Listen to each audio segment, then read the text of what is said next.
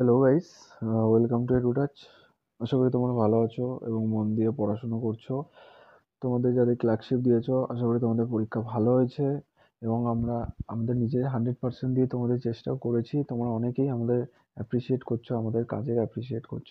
So সবাইকে thank you আর আমরা নিঃস্বার্থভাবেই তোমাদের হেল্প করার চেষ্টা করেছি এবং ভবিষ্যতেও করব এবং যারা আইসিডিএস দেবে, তাদেরকে বলি, তারা মন দিয়ে পড়াশোনা করো।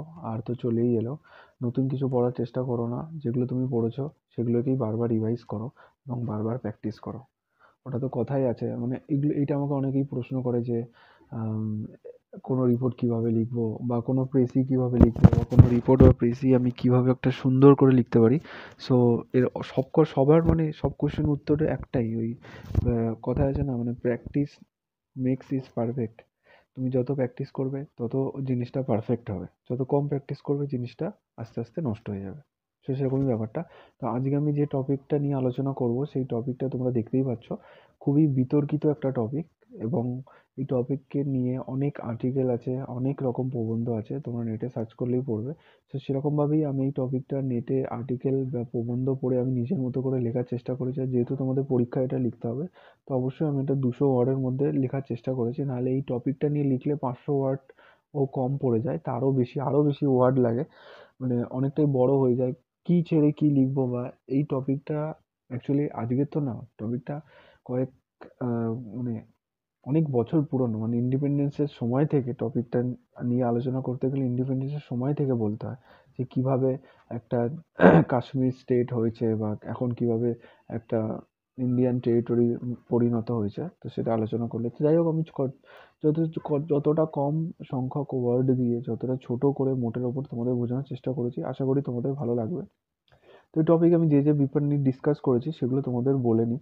ফার্স্টে তো আমি একটা অবশ্যই ইন্ট্রোডাকশন দিয়েছি যেটা এটা একটা রিপোর্ট আকারে লিখেছি এবং শেষে কনক্লুশন দিয়েছি। ইন্ট্রোডাকশন এবং কনক্লুশন আমার মনে হয় যে কোনো একটা রিপোর্টের জন্য সব থেকে বেশি জরুরি। কারণ একটা, যে কোনো একটা রিপোর্টে একটা বেস দরকার লাগে। সেই বেসটা যদি তুমি তৈরি না করো, তাহলে সেই রিপোর্টটা কোনো দিনই সুন্দর হবে না। তো বেসটা তৈরি করার জন্য অবশ্যই তোমাকে ইন্ট্রোডাকশন এবং কনক্লুশন দিতে হবে। ইন্ট্রোডাকশনে তুমি ওই পুরো টপিকটার একটা ওভারঅল আলোচনা করে দিলে এবং কনক্লুশনে নিজের মতামত অবশ্যই পেশ করতে পারো। বাট অন্য কোনো পার্টে নিজের মতামত পেশ করে সেটাকে কনক্লুশন বানিয়ে দিলে কিন্তু লাস্টের কনক্লুশন আর কোনো ভ্যালু থাকবে না। তো যাই হোক, আমি ইন্ট্রোডাকশন দিয়েছি কনক্লুশন দিয়েছি এবং বিভিন্ন ইভেন্টস মানে কী কী ইভেন্টস হয়েছে এবং এর পজিটিভ অ্যাসপেক্ট এই থ্রি সিক্সটি যে positive three seventy sorry three seventy article three seventy অ্যাপ্লিকেশনের যে পজিটিভ অ্যাসপেক্টসগুলো আছে বা পজিটিভ দিকসগুলো আছে, সেগুলো নিয়ে আমি আলোচনা করেছি। তো আশা করি তোমাদের ক্লাসটা ভালো লাগবে। সো চলো ক্লাসটা শুরু করা যাক। তোমরা আমাদের চ্যানেলে নতুন হয়ে থাকলে অবশ্যই আমাদের চ্যানেলটি সাবস্ক্রাইব করো এবং পাশে থাকা বেল আইকনটি প্রেস করো এবং আমাদের চ্যানেলে যে কোনো নতুন ভিডিও সেটা কোনো গভর্নমেন্ট এক্সামের নোটিফিকেশান হোক বা কোনো গভর্নমেন্ট এক্সামের প্রিপারেশানের জন্য ক্লাস হোক বা সিলেবাস হোক বা খুঁটিনাটি বিভিন্ন তথ্যের জন্য তোমরা অবশ্যই আমাদের চ্যানেলটি সাবস্ক্রাইব করো। তোমরা যে কোনো ভিডিও নোটিফিকেশান পেয়ে যাবে। এবং আমাদের যে টেলিগ্রাম গ্রুপ আছে, এই টেলিগ্রাম গ্রুপ এডুটাচ এটা তোমরা টেলিগ্রামে গিয়ে at the rate of Edutap বলে সার্চ করতে পারো বা এর লিঙ্ক তোমরা আমাদের ভিডিওর ডিসক্রিপশানে পেয়ে যাবে, সেখান থেকেও তোমরা জয়েন হতে পারবে। So thank you so much for watching this video and thank you এখানে বলছে right a brief report about application of article three seventy এখানে তোমার একটা টাইটেল দিয়ে দিও application of article three seventy আমি এখানে এটা দিয়েছি বলে এখানে টাইটেলটা আমি দিইনি। তো এখানে ডেট ফেট দিয়ে দিও।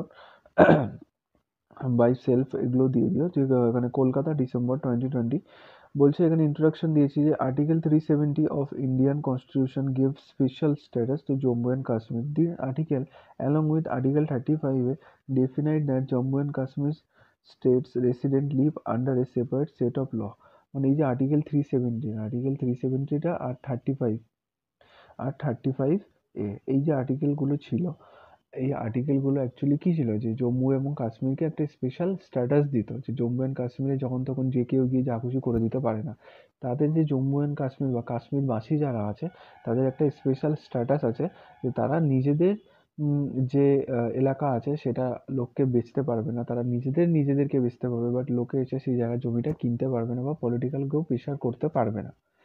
এই, এরকম বিভিন্ন অ্যাসপেক্টস আছে যেগুলো আর্টিকেল থ্রি সেভেন্টিতে ছিল এবং যেই, এই আর্টিকেল থ্রি সেভেনটা অ্যাব্রোগেশন করে দেওয়া হয়, তাই এই যে স্পেশাল স্ট্যাটাস এগুলোই চলে যায় কাশ্মীরের উপর থেকে। বলছে ইভেন্টসে কি বলছে? On five fifth August two thousand nineteen the government of India issued a constitutional order suspending the nineteen fifty four order মানে উনিশশো চুয়ান্ন সালে যে অর্ডারটা দেওয়া হয়েছিল নাইনটিন ফিফটি ফোরে সেই অর্ডারটা সাসপেন্ড করে দিচ্ছে and making all the provisions of the Indian constitution applicable to Jammu and Kashmir এবং ইন্ডিয়ান কনস্টিটিউশনের যে প্রভিশনগুলো আছে মানে বাকি ইন্ডিয়ার স্টেটে যে কনস্টিটিউশনাল প্রভিশন বা কনস্টিটিউশন যে রুলগুলো আছে যেগুলো চলে, এখন থেকে সেগুলো কাশ্মীরেও লাগু হবে। এবং based on the resolution passed in both houses in Indians parliament two third majority মানে দুই মানে দুয়ের তিন ভাগ মেজরিটি দিয়ে এই লটা ভারতের পার্লামেন্টে বোথ হাউসে পাস করেছিল এবং প্রেসিডেন্টও সিগনেচার করেছিল। তারপরেই তো একটা ল হয় এটা আমরা এই নিয়মটা আমরা জানি পলিটিতে আছে। নেক্সট বলছে the Jammu and Kashmir reorganisation act two thousand passed by the parliament enacting the division of state of Jammu and Kashmir into a, into two union territories মানে জম্মু অ্যান্ড কাশ্মীরটাকে এই বিলটা পাস হওয়ার পর দুটো ইউনিয়ন টেরিটরিসে ভাগ করে দিয়েছে। কি কি? আমরা সবাই জানি যে Jammu and Kashmir and the Ladakh আগে ছিল জম্মু অ্যান্ড কাশ্মীর স্টেট ছিল, তার মধ্যে লাদাখ রিজিয়ন ছিল বাট এখন ইউনিয়ন টেরিটরিজ করে দিয়েছে জম্মু অ্যান্ড কাশ্মীর এবং লাদাখ টেরিটরিজ এটা জম্মু অ্যান্ড কাশ্মীর লাদাখ দুটো ইউনিয়ন টেরিটরিজে ভাগ করে ভাগ করে দিয়েছে। দ্য রেকগনিশন এগুলো ফলস নম্বর পড়ে গেছে। The recognition took place on thirty first October two thousand nineteen তো বিলটা কবে পাস হয়েছে? বিলটা ইস্যু হয়েছে fifth August two thousand nineteen তারপর অনেক ঝামেলা হয়েছে, অনেক কিছু হয়েছে। আমরা যেমন দেখলাম সিএতে হলো। তেমনি এই থ্রি সেভেন সি আর্টিকেলের জন্য অনেক ঝামেলা হয়েছে, অনেক তর্ক, বিতর্ক, অনেক রকম আর্টিকেল বেরিয়েছে এ নিয়ে।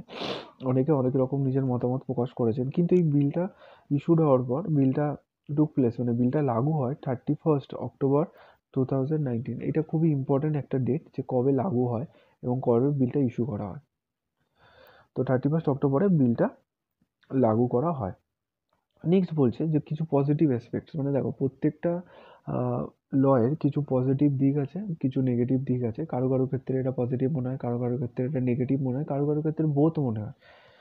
সো এখানে আমি কিছু পজিটিভ দিক দিয়েছি, কিন্তু নেগেটিভ দিকে আমি আলোচনা করিনি। আমার নিজের মতামত আমার পজিটিভ দিক লেগেছে এবং বিভিন্ন আর্টিকেলস বা বিভিন্ন অনেক যারা রিপোর্টার রয়েছে তাদের আর্টিকেল আমি পড়ে আমি যেটা বুঝেছি বা আমি যেটা ক্যাচ করতে পেরেছি সেটাই আমি এখানে দিয়েছি। তো এখানে বলছে যে article three seventy have some positive aspect to it would pave the way towards ending militancy মানে ওখানে যে মিলিটেন্সি হয় মানে ওখানে যে আতঙ্কবাদীর যে ব্যাপারটা মানে নিজেদের মানে আতঙ্কবাদীরা আমাদের ইন্ডিয়ান সোলজারদের তো মারছে ইন্ডিয়ানদের মারছে প্লাস আমাদের কাশ্মীরি যে ভাই বোনেরা রয়েছে বা কাশ্মীর যে লোকেরা রয়েছে, তাদেরকেও তারা হত্যা করছে তাদের নিজেদের স্বার্থের জন্য। এই মিলিটেন্টটা আসছে করতে গিয়ে, যেহেতু ওটা পাকিস্তানের একদম নেইবারে রয়েছে, ওই জন্য পাকিস্তান থেকে মিলিটেন্টসগুলো আসছে। এবং separatism nepotism and provided welfare to the people এবং পিপলদের একটা ওয়েলফেয়ার বা সেপারেটিজম নিটোটিজম এগুলো কমানো হবে এবং পিপলদের ওয়েলফেয়ার প্রোভাইড করা হবে। ওমেন এসসি এসটি এবং other backward communities will enjoy special benefit মানে আমাদের অন্য সব স্টেটের schedule caste schedule tribes special benefit refer করে। মানে ধরো গভর্নমেন্ট এক্সাম দিতে গেলে তুমি যেমন দেখো যে তুমি যদি এসসি হও তাহলে তোমাকে পাঁচ বছর ছাড় দেওয়া হবে। প্লাস তোমার গভর্নমেন্টে এক্সামে যে মার্কস হবে তার থেকে জেনারেলদের মার্কস থেকে মাইনাস ফাইভ তুমি কমসে কম মাইনাস ফাইভ মার্কস তুমি ধরে রাখো। যে কোনো এক্সামের ক্ষেত্রে সেটা কোনো ক্ষেত্রে ফাইভ কোনো ক্ষেত্রে টু বিভিন্ন এক্সামে বিভিন্ন রকম ভ্যারি করে। যাই হোক, সেটা আমি আসছি না। তো যাই হোক, আমি আমার বলার উদ্দেশ্য হচ্ছে যে, এই যে স্পেশাল বেনিফিটগুলো সেইগুলো এখন এসসি এবং এসটি বা ব্যাকওয়ার্ড ক্লাসের লোকগুলো যে আমরা আদার স্টেটের লোকেরা পাচ্ছে, আমাদের আদার ইন্ডিয়ার আদার স্টেটের লোকেরা পাচ্ছে, এই এখন এই থ্রি সেভেন্টিটা উঠে যাওয়ার ফলে জম্মু এবং কাশ্মীরের যে ব্যাকওয়ার্ড ক্লাসের লোকজন আছে, তারা এবং এসসি এসটি এই স্পেশাল প্রভিসটা পাবে এবং স্পেশাল বেনিফিটটা তারাও এনজয় করতে পারবে as well as central law will be applicable এবং সেন্ট্রাল গভর্নমেন্টের যে বিভিন্ন ল আছে এবং আইপিসি বিভিন্ন ধারা আছে সেগুলো তাদের জন্য অ্যাপ্লিকেবল হবে। Stimulating investment and creating job for local youth মানে লোকালে যে ইউথ আছে, যারা হয়তো মানে বেকারত্বের জন্য মিলিটেন্সের কবলে পড়ে বা জিহাদের নামে তাদেরকে দিয়ে উল্টোপাল্টা কাজ করানো হচ্ছে, সেই মানে দেখো ইউথের মস্তিষ্ক বা দ্য টিনেজার বা ছোট যাদের মস্তিষ্ক, তাদের মস্তিষ্কে তুমি যদি ভালো কিছু বলো অবশ্যই তাদের রিফ্লেক্টে তারা ভালো হবে। যদি খারাপ কিছু বলা হয় তাহলে তারা খারাপ হবে। তো তাদের মাথায় খারাপ কিছু ঢোকানো হচ্ছে বলেই তারা আজকে আমাদের ইন্ডিয়ান সোলজারদের উপর পাথর ফেলছে বা তারা তাদের কালো পতাকা দেখাচ্ছে। এখন বিভিন্ন তারা ইনসিডেন্ট ঘটাচ্ছে, আমরা সবাই সেটা নিউজে দেখি। এবং অনেকেও তার জন্য মারাও যাচ্ছে। অনেকের ভাই, বাবা, যাই হোক অনেকেও তার জন্য মারা যাচ্ছে। এগুলো কমানোর জন্য এই থ্রি সেভেন্টি যে আর্টিকেল আছে, এটা অ্যাব্রোগেশনটা খুবই জরুরি ছিল। কিন্তু এরও কিছু নেগেটিভ দিক আছে। সেই নেগেটিভ দিক যদি আলোচনা করতে যে থ্রি সেভেন্টি আর্টিকেল অ্যাব্রোভিয়েশনের ফলে কাশ্মীরে কত দিনের পর দিন লকডাউন ছিল, কত যারা মানে যারা গভর্নমেন্ট এক্সামের জন্য প্রিপারেশান নেয়, আমি তাদের কথাই যদি ভাবি, তারা হয়তো গভর্নমেন্ট এক্সামই দিতে পারতো না। তাদের প্রপার ওখানে নেটওয়ার্কই ছিল না, ওখানে ফোর জি ফোর জি কি? ওখানে টু জি চলতো সবসময়। আর জি থ্রি জি বা ফোর জি নেটওয়ার্ক উড়িয়ে দেওয়া হয়েছিল লকডাউন করে রাখা হতো। তো এই যে কাশ্মীরে যে অবস্থাটা, কাশ্মীরিরা যেটা ফেস করেছে এতদিন ধরে, সেটা কিন্তু আমরা এই করোনার জন্য কয়েক মাসের লকডাউনে ফেস করলাম। তো এরকম কাশ্মীরে দিনের পর দিন, মাঝে মাঝে ওখানে কারফিউ চালু হয়, একশো চুয়াল্লিশ ধারা চালু হয়ে যায়। তো এই দিক থেকে এটা খুবই একটা নেগেটিভ তিনশো সত্তর ধারা উঠে যাওয়ার ফলে যে এগুলো কম হয়েছে তা নয়, এগুলো যেরকম চলছিল সেরকম চলতেই আছে। এবং পুরো কাশ্মীরটা এখন আর্মিদের দখলে রয়েছে। আর্মিদের বিভিন্ন রুল আছে। সেই রুল অনুযায়ী তারা যাকে পারে তাকে তুলে নিয়ে যেতে পারে বা তাদেরকে ইন্টারোগেট করতে পারে। তাদের কোনো রকম আলাদা ডকুমেন্টস দিতে হয় না বা ওয়ারেন্ট সার্চ ওয়ারেন্টও দিতে হয় না। এরকম রুল আছে এক্স্যাক্টলি আমার রুলটা খেয়াল পড়ছে না। যাই হোক, এর জন্য এগুলো হচ্ছে এই আর্টিকেলে নেগেটিভ দিক যাই হোক ওগুলো আমি অতটা আলোচনা করিনি যেহেতু আমাকে এটা দুশো ওয়ার্ডের মধ্যে শেষ করতে হবে। তো, এবং লাস্ট একটা যে ইন্টারেস্টিং পয়েন্ট সেটা বলছে যে Jammu and Kashmir will be biggest tourism destination in the world এবং তার জন্য যদি এখন আর্টিকেল থ্রি সেভেন্টি উঠে যায়, তাহলে অনেক আদার স্টেটের যে ইন্ডিয়ানরা আছে বা বাইরের স্টেটে যারা জম্মু অ্যান্ড কাশ্মীরে আসতে চান, যে ফরেনাররা আছে, তারা এখন ভাববে যে কাশ্মীর এখন সেফ কাশ্মীরে এখন তারা আসতেই পারে। যেহেতু এটা একটা ইউনিয়ন টেরিটরিজ মানে ডাইরেক্ট সেন্ট্রাল গভর্নমেন্টের আন্ডারে চলে এসছে। নেক্সট আমি একটা কনক্লুশন দিয়েছি। কনক্লুশনে বলছে it is a historic move by government which can pave the way for peace and prosperity peace and প্রসপেরিটির দিকে যদি এটা পজিটিভলি আমরা নিতে পারি, তাহলে পিস অ্যান্ড প্রসপেরিটির দিক থেকে অবশ্যই পিসের দিক থেকে এটা হেঁটে যাবে। In the Jammu and Kashmir region and also bring the people of Ladakh to the mainstream of Indian society আমরা ইন্ডিয়ান সোসাইটি যে মেইন স্ট্রিম মানে আদার স্টেটে যে যে আদার স্টেটে যে ফেসিলিটিগুলো তারা এনজয় করে গভর্নমেন্টের ফেসিলিটিগুলো এনজয় করে এবং তার সাথে এখন লাদাখ বা জম্মু অ্যান্ড কাশ্মীরও সেই ফেসিলিটিগুলো এনজয় করতে পারবে। তো এই আশা করি তোমরা ক্লাসটা বুঝতে পেরেছ এবং তোমাদের রিপোর্টটা ভালো লেগেছে। অবশ্যই ভালো লাগলে কমেন্ট করো এবং না লাগলে তো আরও বেশি করে কমেন্ট করো কী কী ফল্ট বা তোমাদের এই থ্রি সেভেন্টি সম্বন্ধে তোমাদের কী মতামত সেটাও তোমরা কমেন্টে জানাও।